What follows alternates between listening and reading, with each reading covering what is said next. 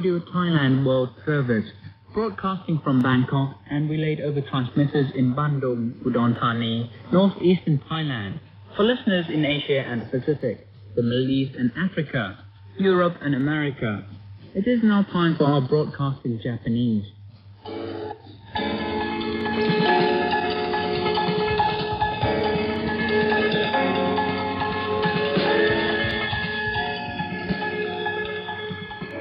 ちらはラジオタイランドの日本語放送です。この放送はうどん谷県バーン郡のボイスオブアメリカの送信所を通じてお送りしています。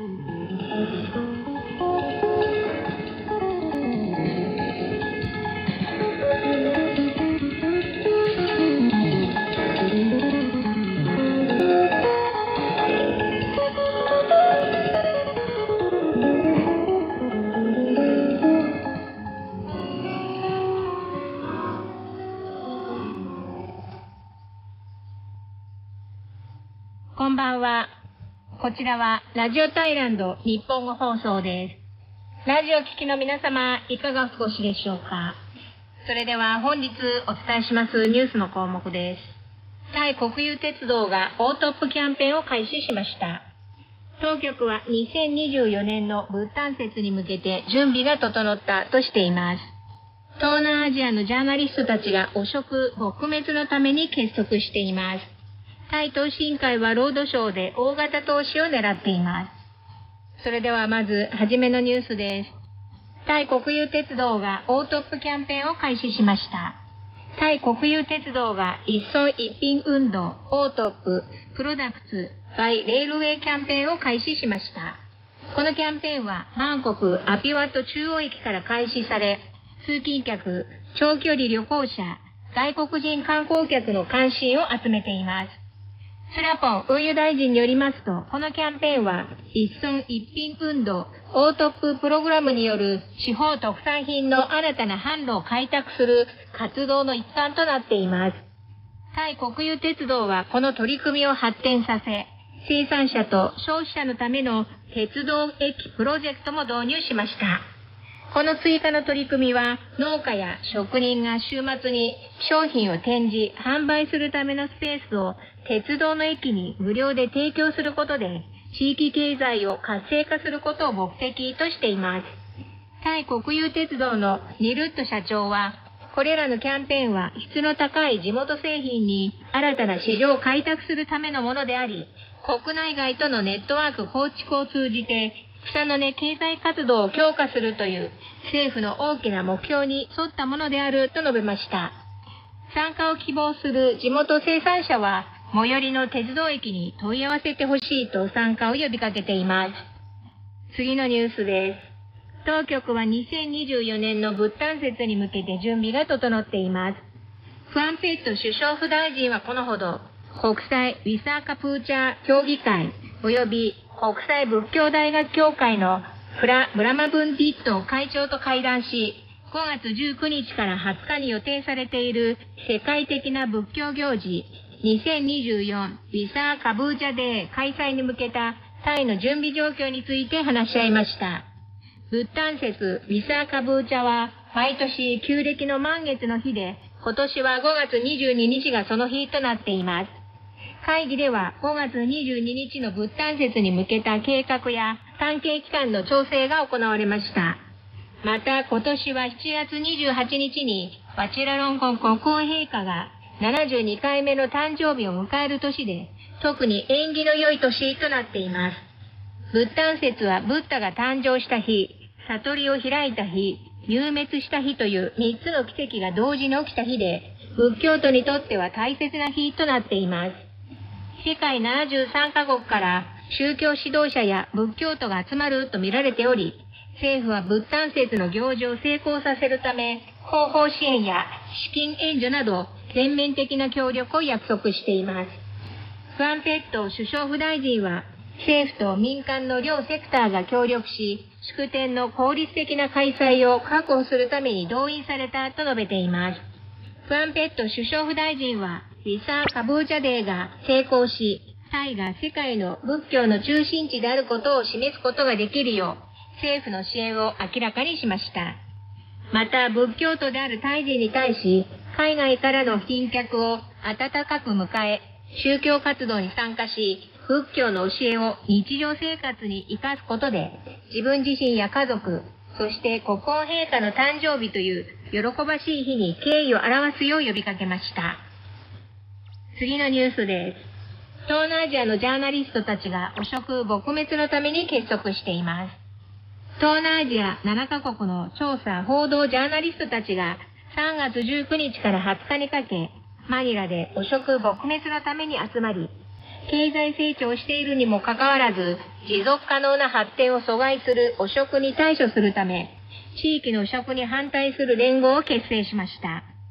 タイ、フィリピン、マレーシア、インドネシア、東ティモール、ラオス、カンボジアから多くのジャーナリストが参加したこのイベントは、汚職行為への対応の遅れを懸念し、外国からの直接投資が増加する急成長経済におけるガバナンスの改善が不可欠だという課題を突きつけました。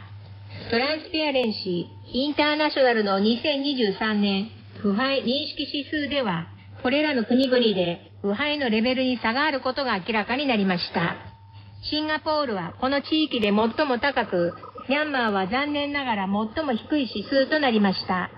調査、報道ジャーナリストたちは、情報へのアクセス、規制当局の反発、情報源の安全確保など、数多くのハードルに直面しています。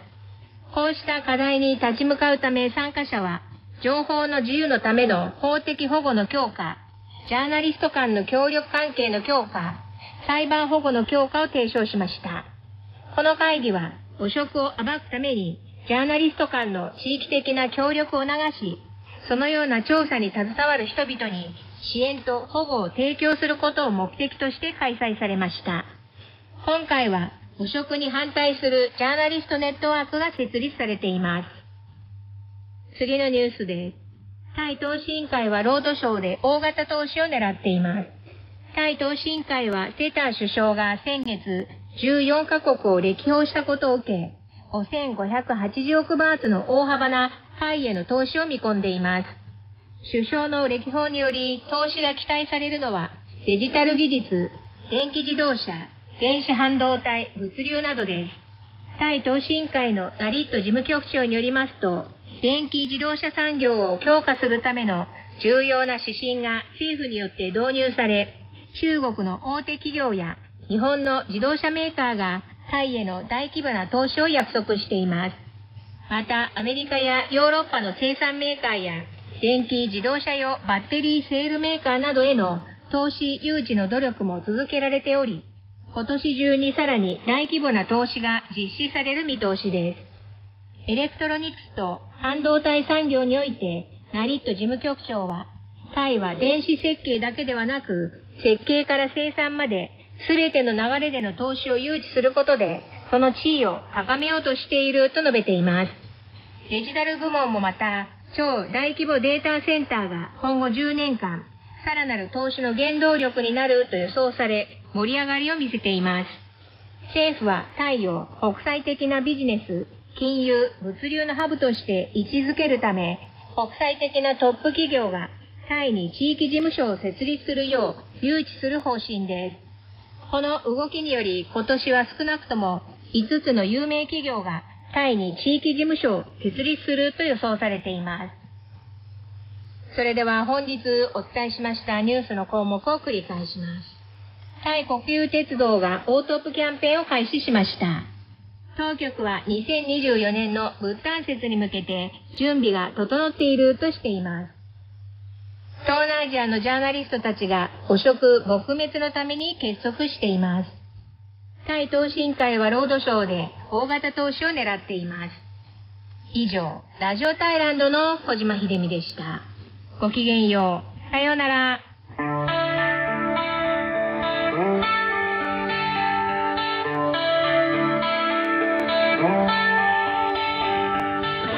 จะเธอเสียใจวันที่ดอกไม้ได้เป็นรอยให้เธอพลอยต้องร้องไห้คนที่รักเธอมองว่ารอยช้ำบนดอกไม้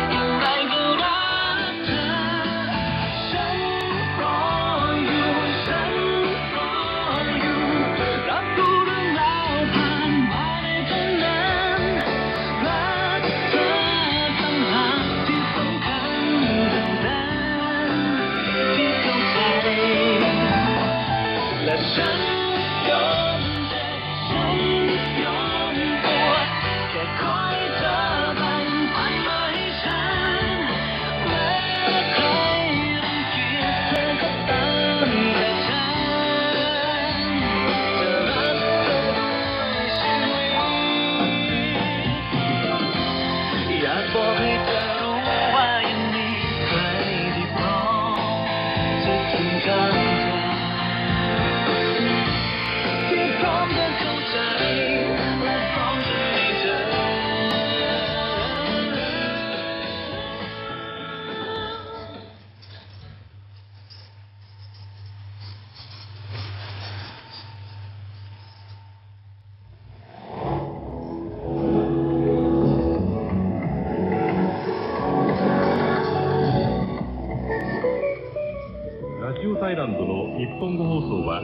毎日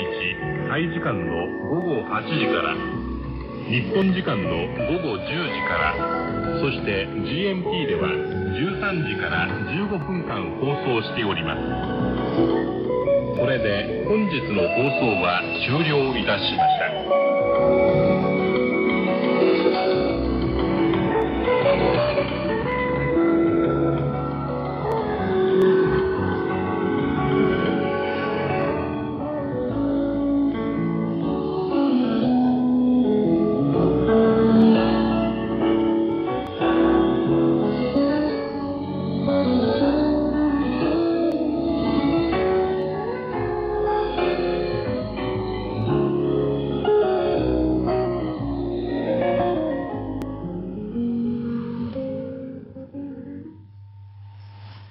Concludes our broadcast in Japanese. This program can be heard from 2000 to 2015 Bangkok time or 1300 to 1315 GMT.